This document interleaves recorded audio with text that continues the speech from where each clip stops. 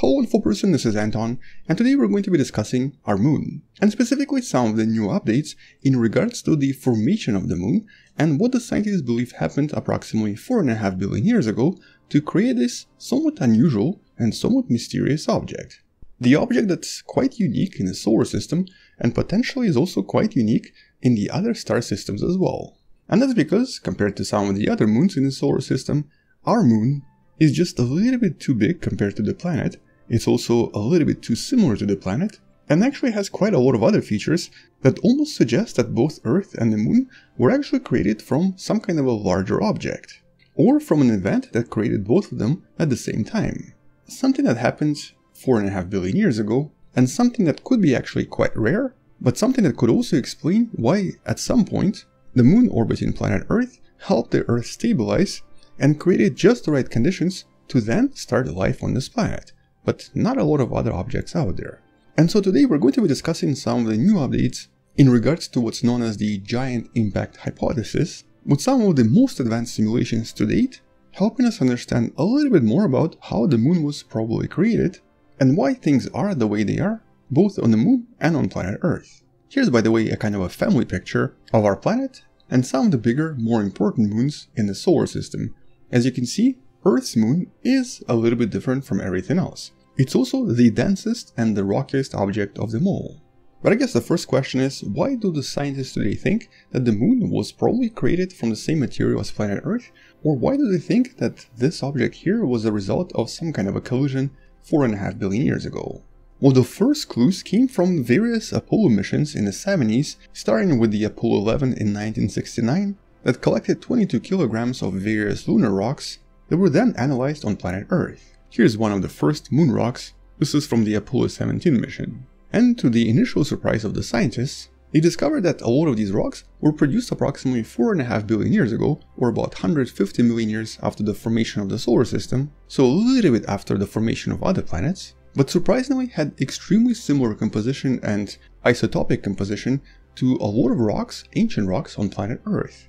On top of this, the way that the moon orbits around the planet creates a relatively high angular momentum for both bodies that's actually kind of difficult to explain unless they were created from something that existed here before that already had high angular momentum in the beginning. Now, a collision with an object, for example, would create this extremely high angular momentum and would maybe explain what we're observing. At the same time, the lunar spin alignment is very similar to the spin of planet Earth, also difficult to explain unless they were created from the same stuff. And their density is relatively similar as well, whereas the density of all other moons is much much lower. So basically here, almost everything points at the fact that the moon might have been created from relatively similar material to planet Earth, but through some kind of a violent event 150 million years after the formation of the solar system with the major explanation now suggesting that about 4.5 billion years ago, there actually might have been another object known as Theia, located in one of the Lagrange points in the same orbit as planet Earth, that eventually became destabilized and slowly approached our planet, colliding with it a few million years later. And the result of this collision was obviously the formation of the moon. In this case, that primordial object is now referred to as Theia, the mother of Selene or the goddess of the moon. Now so far this is the best explanation we have for all of the observations, but exactly how this happened is of course another question. And so for many years now the scientists were trying to figure out exactly what happened, how it happened, and more importantly, how all of this then produced both the moon and planet Earth. And some of the initial assumptions based on some of the earlier simulations suggested that there might have been some kind of a powerful impact that probably created a ring around the planet, or basically some kind of a disk of debris that was probably formed from a lot of the material on the surface of Earth, and of course from the leftovers of Theia. Eventually this coalesced into the moon that used to be much much closer to our planet, producing ridiculously high tidal effects, and over time slowing down the rotation of Earth from 6 hours to 24 hours that it is today.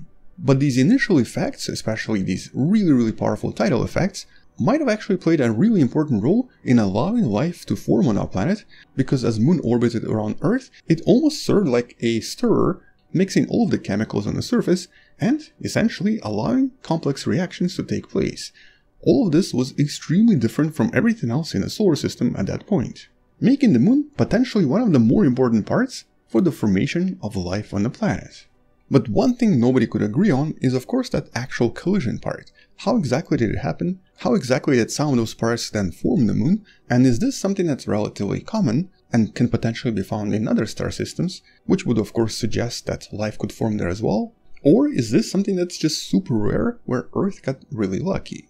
So here, this is where the simulations and various supercomputer calculations come into play. Here's actually one from, I guess, 8 years ago from 2014. Now here, you can see that there are not a lot of particles, but they do eventually result in the formation of the moon, which seems to actually interact with the planet several times until it finally settles into some kind of an object that eventually stabilizes and starts orbiting around the planet. This doesn't take too long, but it still takes some time, so this process is definitely relatively complex. More importantly is that this indicates that the moon was probably formed from various debris that almost look like a ring at some point. And quite a lot of similar simulations have been conducted in the past, with the scientists trying to figure out exactly how all of this worked, by essentially reproducing this using supercomputers, but slowly increasing the resolution of the particles, and thus increasing the number of the particles, which also meant that you would need more and more powerful computers to try to simulate all of this. Now here the idea is pretty simple. Simulating this with just a few particles is not really that accurate in representing what might have happened. Here, one of the scientists gave an analogy of using, for example, a Lego car that only contains a few blocks in it, compared to an actual car made out of atoms. If you were to test the results of a collision between actual cars, where we know the effects from various tests, and then compare these to tiny models, the effects are obviously going to be very different. And similarly, using supercomputers with a lot of blocks versus just a few blocks is probably going to produce different results, which is why the scientists have created this the most accurate, the most detailed, and the most high resolution collision simulation of the object that we refer to as Theia and primordial Earth. And in this case, it kind of shows us what most likely happened based on these initial simulations. And here's the interesting thing. As you see from the simulation, the moon did not really form the ring or did not form various shredded particles. It might have actually formed almost right away within just a few hours. Here's another simulation from a slightly different angle. So as Theia collides with planet Earth, it generates a huge amount of debris that mixes and sort of circulates around the planet, but it almost instantly coalesces into larger chunks, larger objects. And more importantly, in this simulation, it actually created two objects, the larger moon and the smaller moon. And because of the gravitational interaction between them, the smaller moon got sort of lobbed away from the planet, and the larger moon fell into the planet and at some point all of this formed extremely similar objects to what we actually observe in the solar system.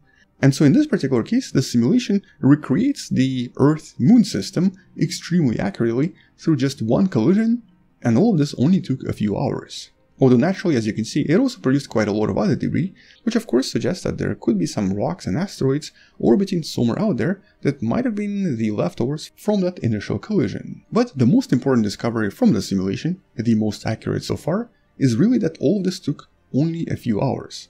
It was not a slow and gradual process, it did not take thousands of years, it might have been super super quick.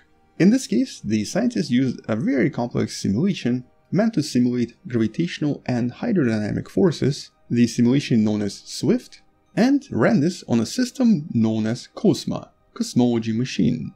And by simulating this over and over, using different angles and different speeds, they were able to recreate exactly what we're observing by using approximately 100 million particles, which is thousands of times more than ever before. And more importantly, the simulation also kind of agreed with all of the observations that we have in regards to the composition of the moon and planet Earth, the actual spin, the angular momentum, and all of the other observations that even include the unusual tilted orbit that was formed as a result of this collision. Although naturally, to confirm all of this, the scientists would still have to examine some of the other rocks from various lunar missions in order to confirm the isotope composition and the mixture of these elements comparing them to the theoretical values from this particular simulation and from the study. But because all of this seemed to have happened relatively quickly and also without much hassle, it also suggests that this is maybe something that could happen around other objects and possibly even happened around the objects in the solar system as well. For example, it could have happened around our neighbor Venus,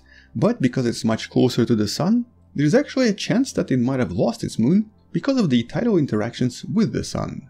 Which eventually caused this planet to become entirely different from our own planet as well. And you can learn more about why neither Venus nor Mercury have moons in one of the videos in the description. More importantly, it also implies that some of the potentially habitable exoplanets we've discovered so far could maybe have very similar features as well. Maybe a moon could have formed here as well, allowing those planets to experience similar effects to our planet Earth. Now it's not really a question we can answer yet, especially until we discover some of these moons around other planets, but it would be an important question to answer if we ever want to answer the question of does life exist somewhere out there? And so by answering the question of the origin of the moon, we might actually come a little bit closer to learning more about life existing somewhere else out there. But naturally, this is just one of new studies that has this new answer. It's quite possible that in the next 10 years, as the computers improve and as we get better and faster supercomputer simulations, we might be able to discover something entirely different, or something that helps us understand a little bit more about the moon formation that was not answered in this particular study or in this simulation. At the moment though, this is still pretty impressive, and the simulation itself is just incredibly beautiful as well. But until future discoveries or until future studies, that's pretty much it. You can find all of the relevant links, including the links for the simulation in the description below. Subscribe if you still haven't, share this with someone who loves learning about space and sciences, come back tomorrow to learn something else, and maybe support this channel on Patreon by joining channel membership or by buying the wonderful person t-shirt you can find in the description. Stay wonderful, I'll see you tomorrow, and as always, bye bye.